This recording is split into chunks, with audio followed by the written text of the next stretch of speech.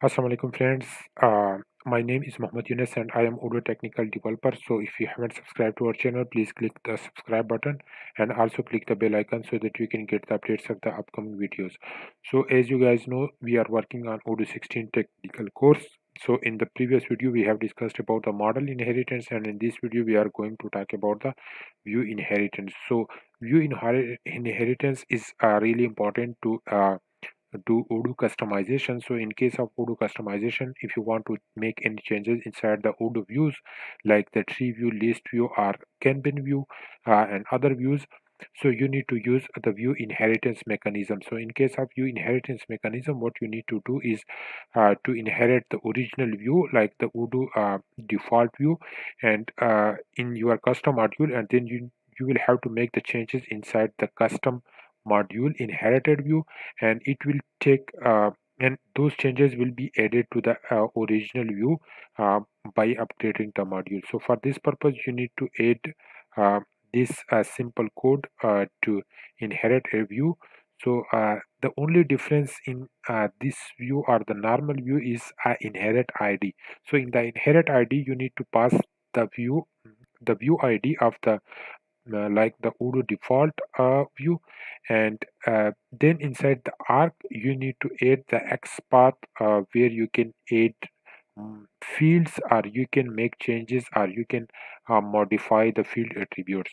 So um, for this purpose there are some uh, terms that are used in this view inheritance. First one is expr which is used inside the XPath so expr is basically the uh, the x like the path to the fields like to the position of the field. Like where you want to add the field you need to specify the position inside the expr uh, that i want to add the field uh, just after this uh, field okay?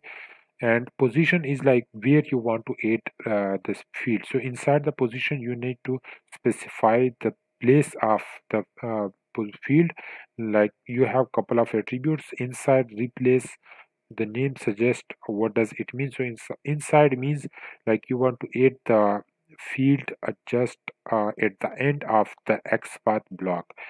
So in case of replace you want to replace the code you in case of before uh, after and attributes means uh, you want to make any some changes inside the attribute of the field. So like for example attribute means the name of the field the domain of the field name is the uh, label of the field.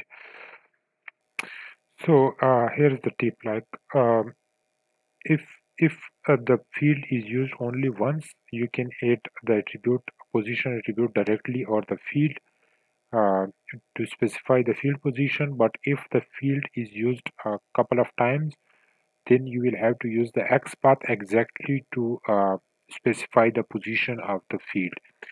Here is the exercise uh, for today's task where uh, we need to use uh, the view inheritance to display the fields in the partner view uh, in the partner form view which we have already added in the model. So let me just go to the PyCharm and here let me remind you that we have added these two fields uh, in the model by using the model inheritance uh, and now we are using to use the view inheritance to uh, add these two fields inside the uh, partner form view. So let me go so let me go to the uh, partner form view uh, and let me add the field here somewhere in this view.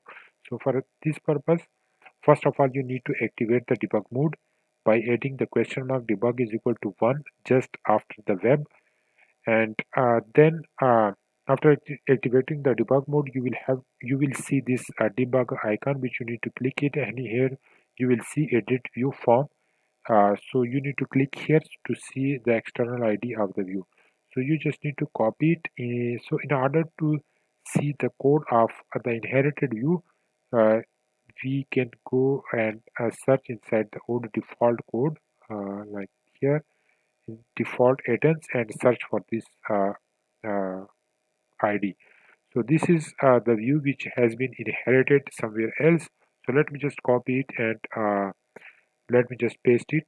So first of all i need to create a res.partner xml file res underscore partner dot xml file inside the views so just cancel it. So here we need to add uh, like this code the encoding and then we need to add Odoo code then data uh, tag and then we need to add the code uh, so just close uh, these two uh, tags. So select the code and then reformat the code like this.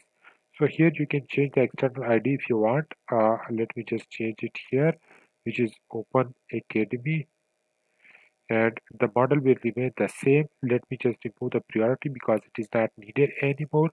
Uh, so if you if you want to know about the inherited uh, like the priority you can just watch one of our previous videos.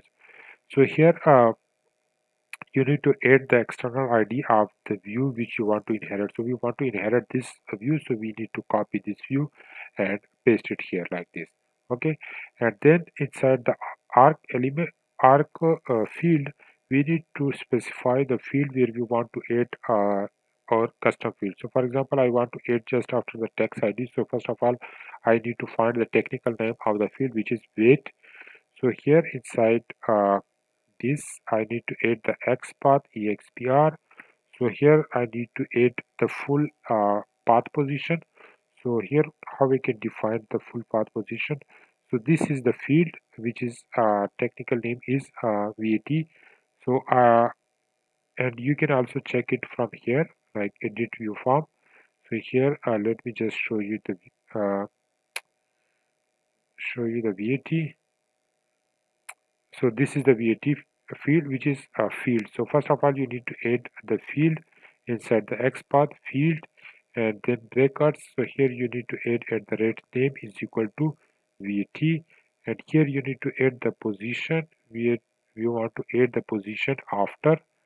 So we want to add the field after this uh, vat field. So here we can add our field. Name is equal to instructor which is defined inside the py file. So let me just add it. And then we need to uh, add this uh, file inside the uh, like the manifest. So let me try add it inside the data like this and then let me start Odoo service and upgrade the module. So after the module upgrade you will be able to see uh, the change that we have added. Go to apps and here uh, we just need to click the upgrade button to upgrade the module upgrade it. So once the module uh, will upgrade. You will see the change just uh, after reloading the page. So here we need to reload this page to see the change. Up reload the page. And here you can see the page is uh, the field is been added. So you can just check it and uncheck it because this is a boolean field. So this is how you get inherited view and add the field and uh, the next field we need to add is just uh, like inside this uh, pages. So we need to add a new page for this purpose. So for this purpose we need to first add uh, like see the code. Uh, so let me just try to give here. So it is inside the notebook and then page. So here we will uh, we will talk about the inside. So we will have to discuss like x path x xpath and expr so here we will have to discuss like notebook and position is equal to inside. So we want to add inside the notebook. So uh, notebook block. So this is the notebook and we want to add it at the end of the uh, all the pages. So if you want to add inside uh, like at the end of all the uh, blocks so we need to use the inside and here we need to add a page. First we need to add the page and then the string will be uh, attended session sessions like this. And here we need to add field name is equal to uh, session IDs like this. So just uh, we have made the changes inside XML so we need to just upgrade the module and uh, we will see the change okay? So after the module upgrade uh, let me go here and uh, refresh the page. So we need to reload this page to see the change. So uh, here the so here you can see the attendance session has been added just uh, at the end of this all pages so this is how you can uh, modify the view using the view inheritance. And if you enjoyed this video please give a huge thumbs up and also don't forget to subscribe to our channel. Thank you